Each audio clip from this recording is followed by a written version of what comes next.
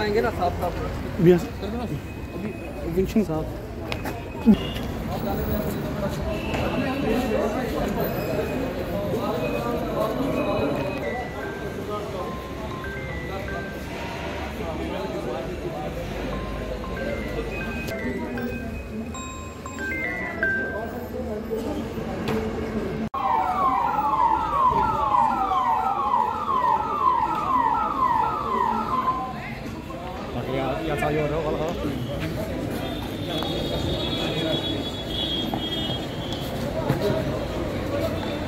kasma.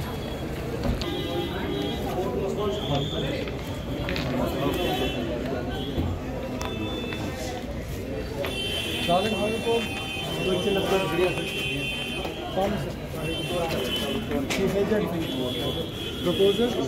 Ayaza kaçtım. Bakar, ha Cavit, ya çok acayip vallahi.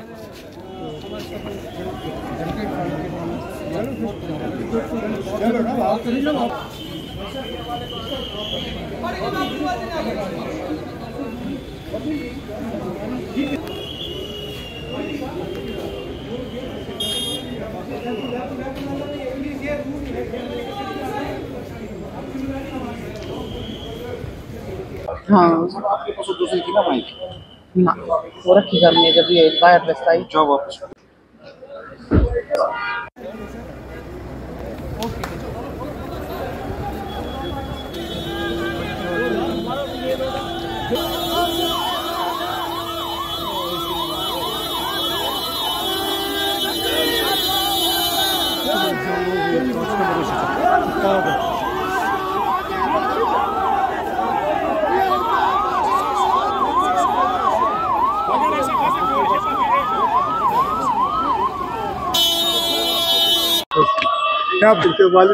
Election election में हर किसी को मेहनत करनी होती है। ये सही बात है कि हमारे नौजवान हमारे नौजवान साथी जो हैं, वो लोगों की खिदमत करने की तमन्ना रखते हैं। लोगों की खिदमत करने का जज्बा इनको विरासत में मिली है।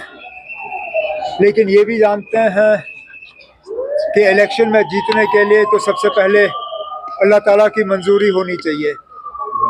उसके बाद इन्हें वोटरों को मुतमिन करना होगा कि आगे जाके अगले पाँच साल के लिए एमएलए के तौर पे ये लोगों की नुमाइंदगी करेंगे, खिदमत करेंगे और जो खासकर पिछले छः आठ सालों से जो जम्मू कश्मीर की हालत जो है, दिन ब दिन और ख़राब होती गई, उसको दुरुस्त करने में ये कोई कसर बाकी नहीं रखेंगे। पांचवी पीढ़ी है, अपने खानदान के जो इलेक्शन लड़ रहे हैं। चौथी सॉरी चौथी। ये शायद पहले ऐसे उम्मीदवार हैं। किसी भी खानदान से ताल्लुक़ रखते हुए जो चौथी पीढ़ी के अब इलेक्शन लड़ने वाले हैं। इसलिए मैंने कहा कि लोगों की खिदमत करने का जज्बा इन्हें विरासत में मिली है। अब इन तक है कि ये कहाँ तक अपने आप को वोटरों के वोट के काबिल और लायक जो है अ, अपना वो प्रूव करेगा। लेकिन मैं जानता हूँ जितना मैं इनको जानता हूँ कोई कसर बाकी नहीं रखेंगे। मैं इसमें नहीं जाऊँगा। आइडियोलॉजी बदलती रहती है। अब इलेक्शन आए हैं। वो इलेक्शन लड़ने के लिए तैयार हैं।